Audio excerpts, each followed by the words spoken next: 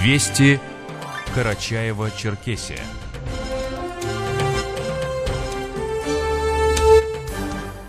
В студии с информационным выпуском Рита Нерова. Здравствуйте. Коротко о некоторых темах. Министр цифрового развития республики стал суперфиналистом лидеров России.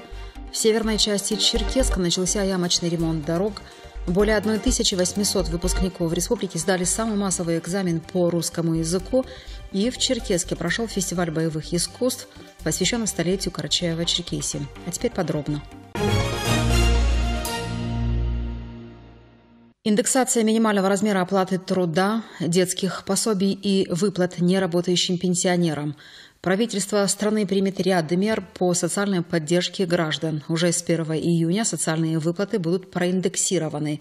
Об этом сообщил председатель правительства страны Михаил Мишустин. На прошлой неделе президент провел заседание Президиума Государственного совета, на котором поручил принять целый пакет мер социальной поддержки. Минимальный размер оплаты труда превысит 15 200 рублей, что приведет к увеличению зарплаты более 4 миллионов работников. Повышенный прожиточный минимум, а вместе с ним станут больше ежемесячное пособие на ребенка в возрасте до 3 лет, а также выплаты пособий на детей от 3 до 17 лет из семей с низкими доходами и целый ряд других. Правительство продолжит оказывать всю необходимую помощь тем, кто в ней нуждается.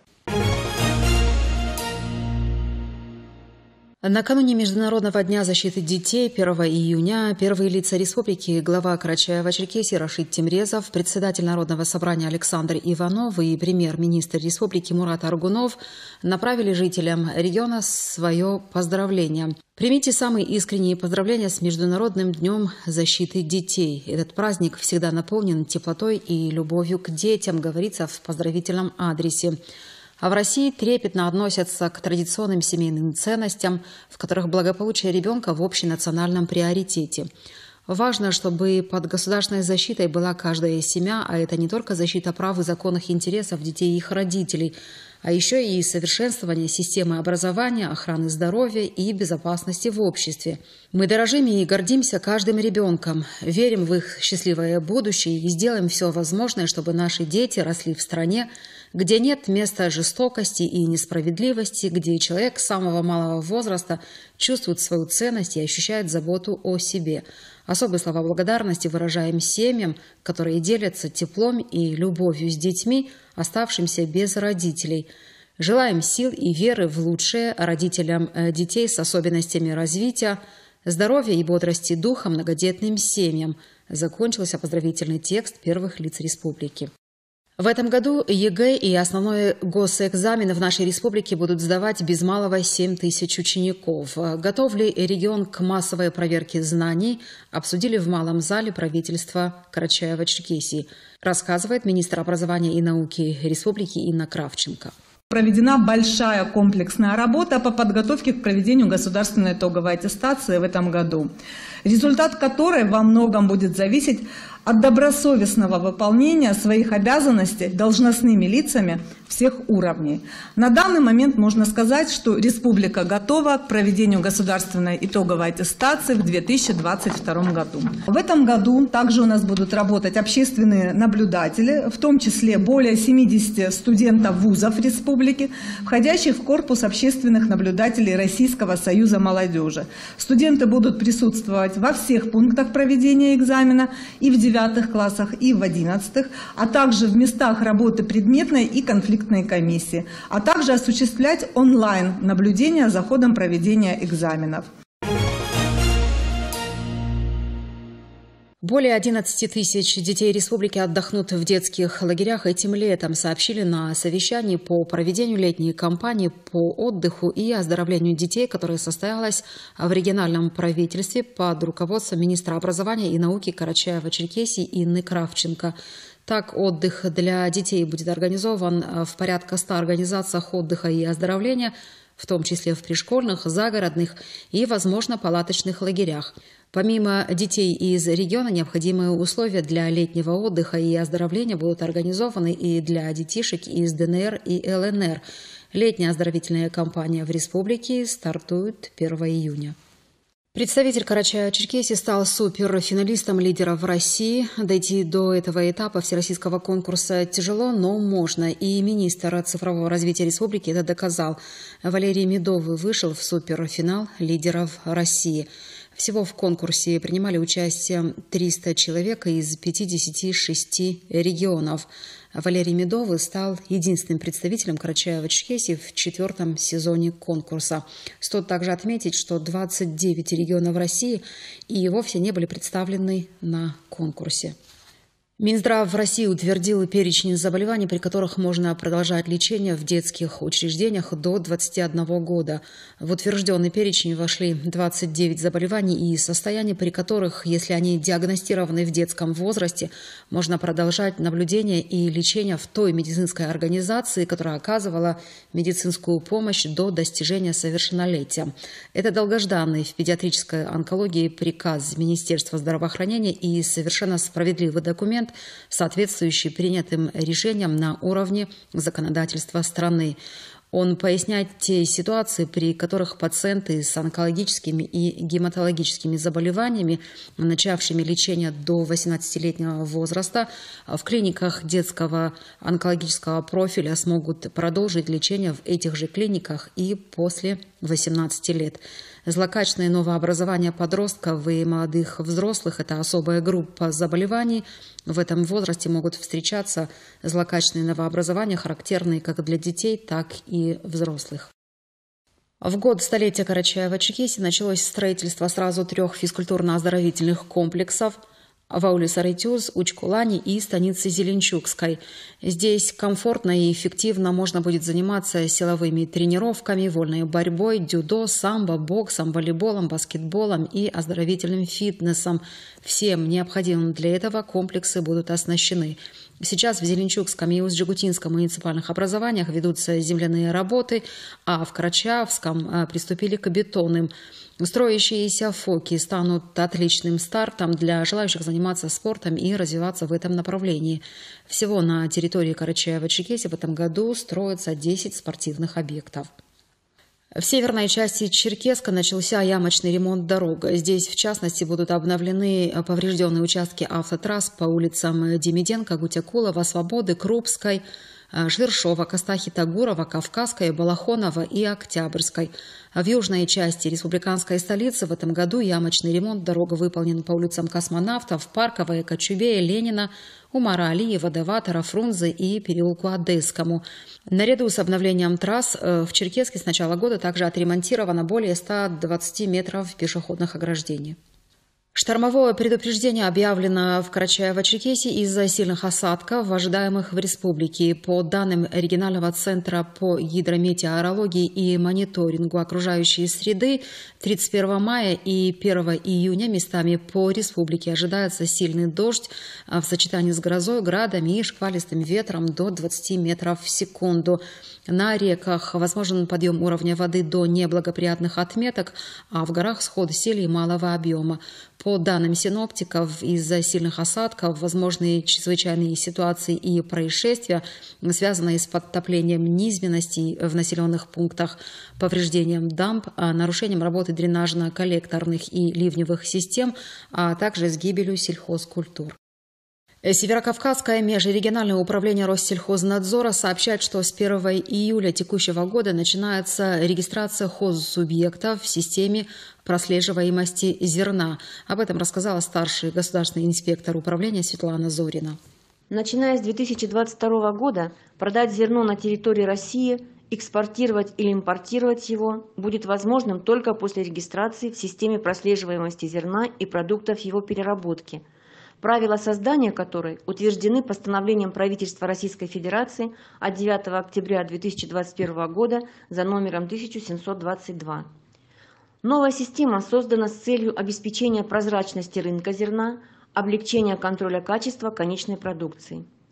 Государственный мониторинг будет контролировать объем и качество зерна от поля до потребителя. Это позволяет российскому бизнесу эффективно работать в условиях прозрачности рынка зерна – а государству отслеживать вклад региона в обеспечение продовольственной безопасности. Система будет вводиться в эксплуатацию поэтапно. С 1 июля этого года регистрация в системе добровольная, а уже с 1 сентября предоставление данных станет обязательным. По факту ДТП с гибелью человека возбуждено уголовное дело в отношении 31-летнего жителя аула Икон Халк Нагайского района. Мужчину подозревают в совершении преступления по статье «Нарушение правил дорожного движения, совершенное в состоянии опьянения и повлекшее по неосторожности смерть человека». Санкция статьи предусматривает максимальное наказание до 12 лет лишения свободы.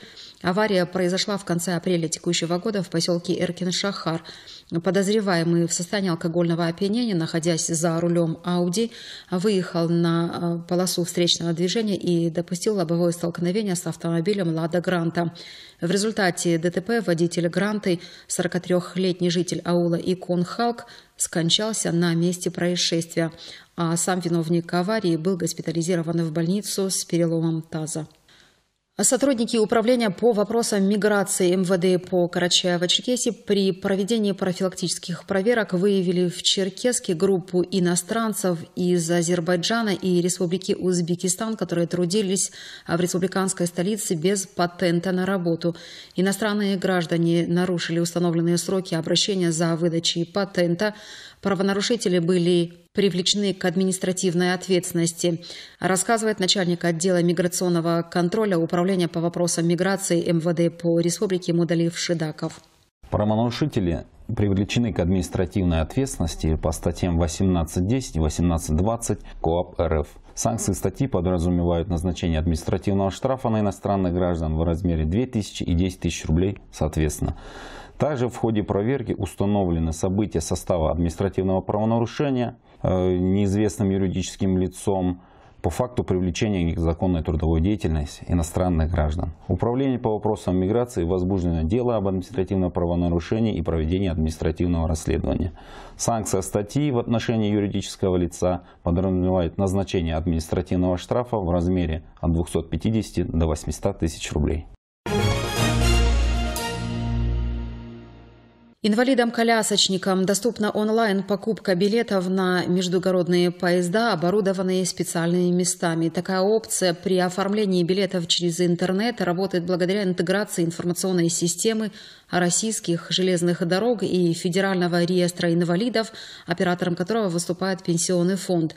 Реестр обеспечивает постоянный доступ перевозчиков к данным об установленной инвалидности и освобождает самих инвалидов от подтверждения этой информации документами.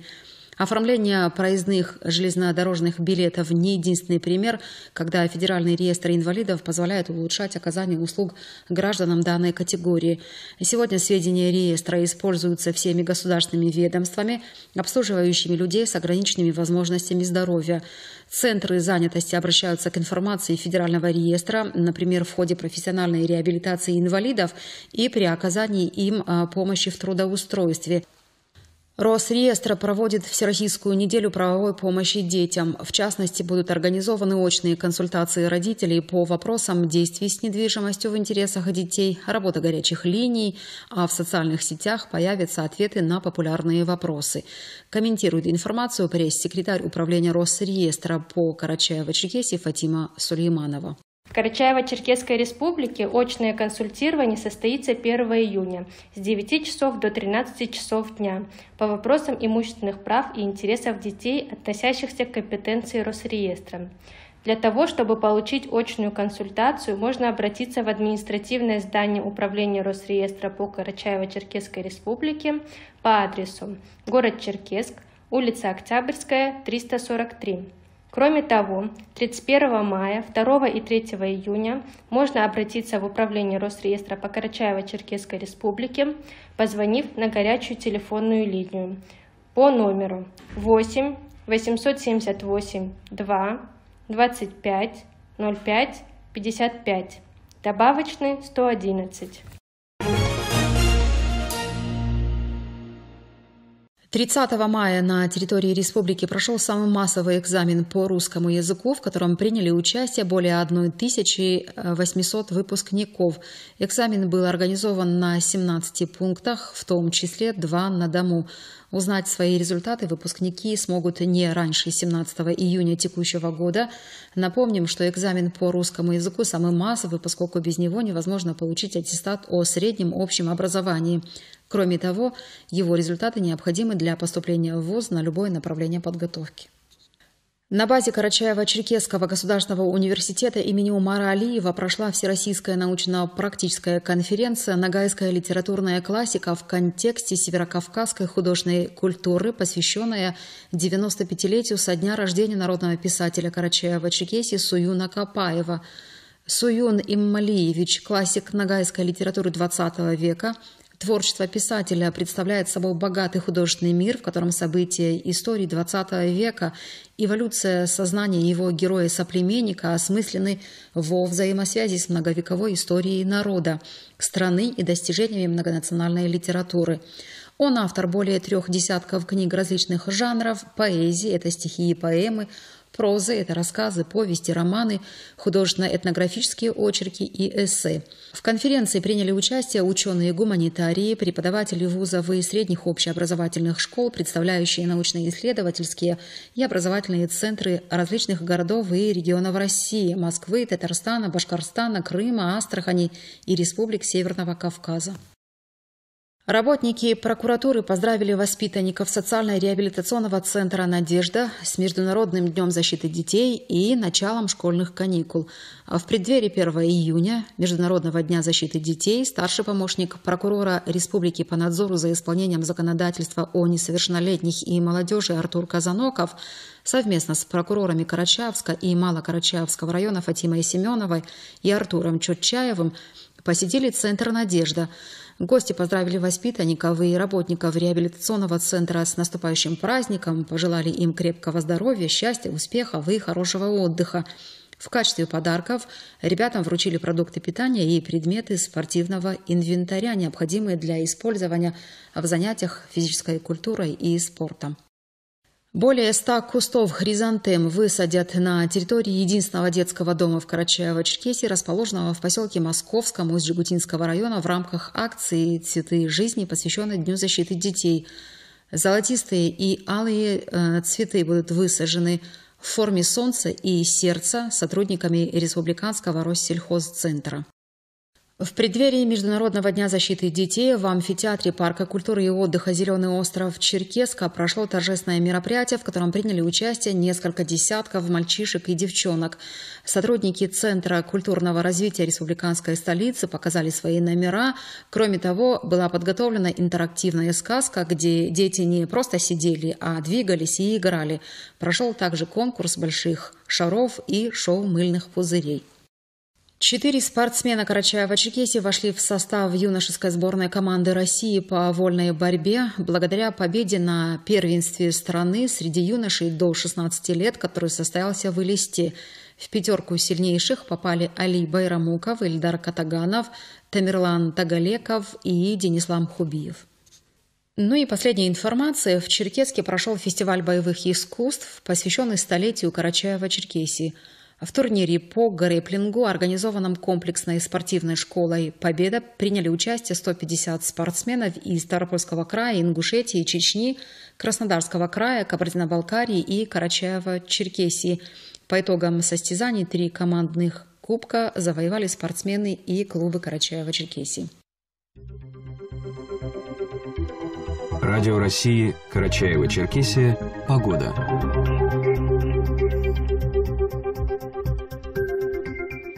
По сообщению синоптиков Республиканского гидрометеоцентра, сегодня по Карачаево-Черкесии переменная облачность, местами кратковременный дождь, гроза, ветер восточный 5-10 метров в секунду, температура воздуха от 27 до 32 градусов тепла, а в горах местами плюс 17-22 и выше 3000 метров сохраняется лавиноопасность.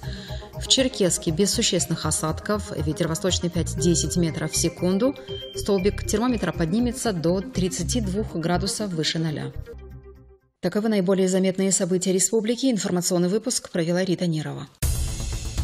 Вы слушали Радио России Карачаево-Черкесия. До новых встреч!